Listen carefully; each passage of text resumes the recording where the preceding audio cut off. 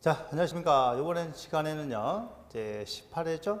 이제 3과목, 이제 소방 관련 법령, 이제 기출 문제 해설 진행하도록 하겠습니다. 자, 그럼 어떤 이제 유형이 나왔는지 제가 같이 보시면서 풀어보도록 할게요. 자, 51번부터 시작입니다.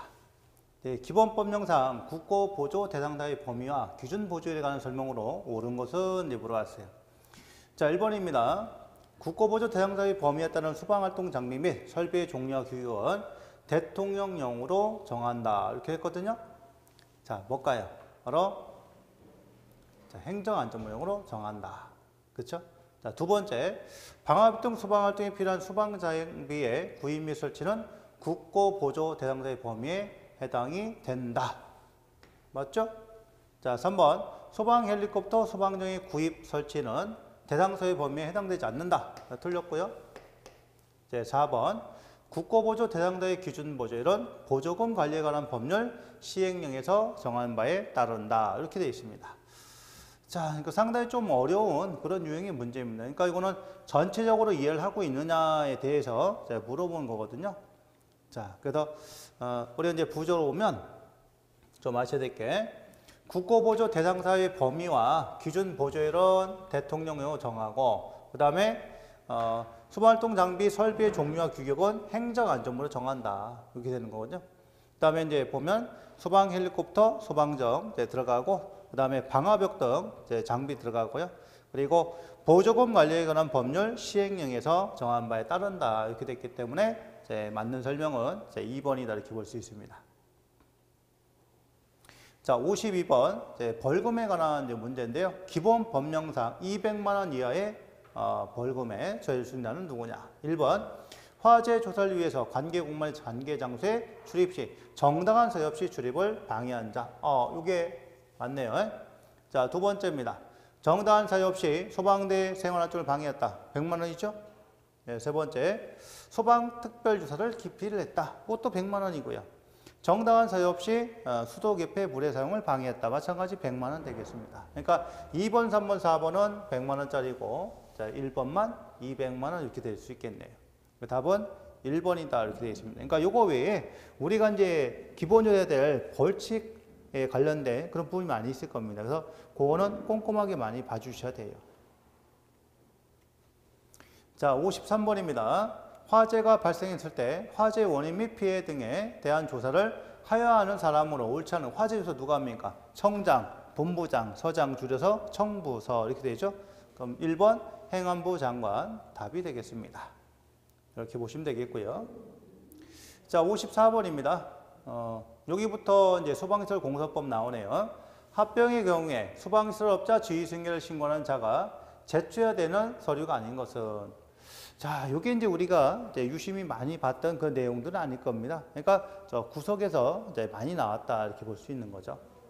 자, 일단 합병 신고서가 있어야 되고요. 그 다음에 계약서 4번이 있어야 되고, 이제 공고문 4번이 있어야 됩니다. 그 3번에 법인의 소방시설 등록증, 등록수첩은 필요가 없다. 승계할 때, 그죠?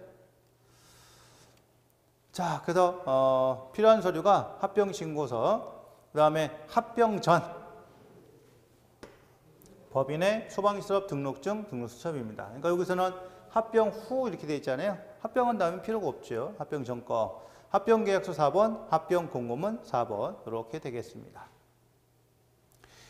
자, 55번입니다. 소방시설 공사업 어, 법령상 수수료 기준을 옳지 않은 것은 야, 이것도 굉장히 생소하죠. 우리가 이제 전혀 어, 알 수 없는 그런 내용들이 출제가 된 겁니다. 그러니까 이거는 뭐 틀리라고 낸 거기 때문에 그러니까 일회성 문제예요. 그러니까 가볍게 자, 찍으시면 되겠습니다. 버려야죠. 자, 전문 소방 설계업을 등록하는 자 4만 원. 그다음에 어, 재발급. 재발급인데 2만 원이 좀 비싸죠. 만 원입니다. 재발급 만 원. 지휘승계 신고 2만 원. 그다음에 등록하는 자 분야별 2만 원. 이렇게 되겠네요. 자, 따라서 해당되는 답은 2번 이렇게 되겠고요. 자, 시행 규칙의 별표 7에 나와 있는 그 내용들입니다. 그래서 지금 뭐야? 어, 전문 설계업 4만 원, 전문 공사업 4만 원, 그 다음에 어, 전문 강미업 4만 원. 자, 일반은 2만 원, 그죠? 그러니까 등록할 때 전문은 4만 원, 일반은 2만 원 이렇게 볼 수 있고요. 그 다음에 등록증 수첩을 재발급 받았을 때 각 만원. 그 다음에 지휘승계는 2만원. 이렇게 되는 거죠. 자, 56번입니다. 소방시설 공사업 법령상 하도급 계약 심사위원회 구성 및 운영에 관한 설명으로 옳은 것은 이제 물어봤어요. 자, 이것도 아마 유심히 보지 않았을 겁니다. 그러니까 저도 이제 그렇게 크게 중요하지 않다고 이제 생각했던 그 부분인데요. 그런 거 위주로 공사법에서 출제를 나타난 것 같아요.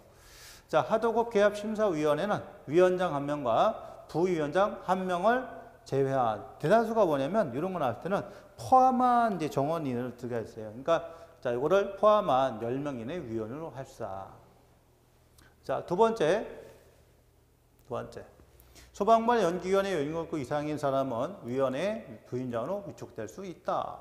그렇죠? 있습니다. 자, 세 번째. 위원회 회의는 제적위원 과반수 출석을 개의하고 출석위원 3분의 이상이 찬성으로 의견한다. 이제 과반이죠, 보통요. 자, 4번입니다. 위원회 임기는 3년이고요. 한 차례 연임입니다. 한 차례. 자, 따라서 답은 자, 2번 이렇게 볼 수 있고요. 그다음에 과반수 찬성 그리고 임기는 3년 한 차례 연임 이렇게 될 수 있다는 거. 네, 그냥 가볍게 보고 넘어가세요. 어, 재출제 가능성은 그렇게 높지 않은 문제입니다. 자, 57번입니다.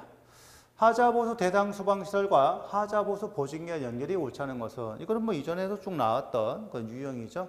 그래서 자 1번 피난기구입니다. 3년. 피난기구는 몇 년이에요? 2년이죠. 답은 1번이고요. 자동화 탐설비, 소화장치, 간이, 스프링설비 다 3년 이렇게 되겠습니다. 그래서 아, 부적으로 자 2년에 해당되는 것이 피난기구하고 유도등 유도표지 그 다음에 비상경보, 비상조명 등 비상방송 그래서 경, 조, 방 요 세 가지 하고 그 다음에 소활동 설비 중에서는 무선통신 보조 설비 요게 하자 보수 보증이 2년이다 이렇게 보면 되겠어요. 자, 그 외에 나머지는 3년이다 이렇게 보시면 됩니다. 자, 그다음 경조방 그다음에 어, 유피 무 이렇게 되겠죠? 자, 경조방 아, 유피무 자, 요거는 2년. 근데 나머지는 3년. 이렇게 보시면 되는 겁니다. 그러니까 요거는 다음에도 재출제 가능성이 상당히 높기 때문에 꼭 외워두셔야 하는 내용이에요. 자, 58번입니다. 영업정지가 그 이용자에게 불편을 주거나 그 밖에 공인을 해치는 우려가 있을 때 시도지사가 영업정지 처분을 가름해서 과징금을 부과할 수 있는 경우는 뭐냐. 자, 요 과징금 부과금액 최대 얼마까지 부과할 수 있죠? 3천만 원까지 부과할 수 있죠. 그럼 그게 해당되는 내용이 뭐냐 보니까 어, 2번에 있네요. 동일한 특정 대상물의 소방시설에 대한 시공과 감리를 함께 할 수 없지만 이를 위반해서 시공과 감리를 함께 한 경우에는 과징금을 부과할 수 있다. 이렇게 되어 있습니다. 그 답은 2번이고요. 어, 그 다음 이제 세세한 내용은 이렇게 되어 있죠. 요를 위반해서 시공 감리 함께 한 경우에 불편을 주거나 그 밖에 공익을 해칠 우려가 있을 때는 3천만 이하의 과징금을 부과할 수 있다. 이렇게 지금 나와 있습니다. 자, 59번입니다. 여기부터는 이제 소방시설법에 관한 그 내용인데요. 자, 증축이 되는 경우에 기존 부분에 대해서는 증축 당시에 설치에 관한 대통령 또는 화재 안전 기준을 적용하지 아니하는 경우가 있다. 자, 이 경우에 해당하지 않는 것은 뭐냐? 이렇게 물어봤습니다. 자, 1번 기존과 증축이 갑종 방향으로 구획되어 있는 경우에 예, 두 번째 기존과 증축 부분에 자동 방화셔터로 구획되어 있는 경우에 자, 3번이요. 자동차 생산구역 내부의 연면적 50의 직원 휴게실을 증축하는 경우에 이렇게 되어 있고요. 자, 네 번째, 3면 이상의 벽이 없는 구조에 캐노피를 설치하는 경우에 자, 면적이 50이 아니고 얼마입니까? 33제곱미터 이하죠. 그 답은 3번이 되겠네. 그렇죠? 33 이하는 이제 안 해도 되는데 자, 넘어가면은 이제 따라야 된다. 자, 그런 얘기를 하고 있는 거예요. 자, 60번입니다. 화재 예방 소방설 설치 유지 및 안전 관련 법령상 임시 소방설에 대해 해당하지 않는 것은 자, 비상 경무장 제당되고요. 간이 소장치, 간이 피난 유도선, 간이 왕관기는 해당 사항이 없지요. 답은 2번 이렇게 되겠습니다. 요거 외에 이제 뭐가 들어가요? 소화기가 들어가는 거죠. 그래서 어, 소화기, 간이소장치, 비상경보, 간이 피난 유도선 이렇게 네 가지가 임시 소방시설이다 이렇게 되는 겁니다. 자, 61번 1급 소방안전관리 대상물에 해당하는 것은 이제 물어봤어요. 자, 다음 공공기관 뺐죠. 공공기관 같은 경우는 자 보겠습니다. 일단 1급이 되려면은 연면적이 얼마 되어 있어야 돼요? 연면적. 자, 연면적이 자 1만 5천 제곱미터 이상 그죠? 1만 5천. 그 다음에 층수가 자 11층 이상인 거 아파트 제하고요. 11층 이상. 자, 이렇게 지금 구성이 되어 있고, 그 다음에 아파트 같은 경우는 30층 이상이거나, 음, 자, 높이가 120m 자, 이상이, 자, 아파트 이게 해당이 되고, 그죠? 그 다음에 가연성 가스 저장 취급, 이제 톤수가 이제 몇 톤 이상, 1000톤 이상인 거, 자, 그런 것들이 1급 대상이다. 그러니까 일단 지하고 빼고요. 그 다음에 불연성 물품 저장 취급 창고 빠지고, 이거 제외니까. 그 다음에 어, 10층이고 연면적 15,000이 판매했어요. 그럼 3번에 해당이 되겠네요. 3번. 15,000 이상이니까. 자, 4번. 층수가 20층이니까 해당성 없죠? 3층 이상에 120m 이상이니까. 자, 따라서 답은 3번이다. 이렇게 되는 거고요. 요게 1급 대상이에요. 3층 이상, 높이가 120m 이상인데 아파트는 지하층은 제외하고 얘기합니다. 그 다음에 연면적 15,000 이상 아파트 제외하고요. 그 다음에 11층 이상인 거. 자, 가스가 1000톤 이상 저장 취급하는 시설. 요게 1급 대상이다. 반드시 외워두셔야 됩니다. 그러니까 제출세 가능성이 상당히 높은 그런 유형이 되겠죠.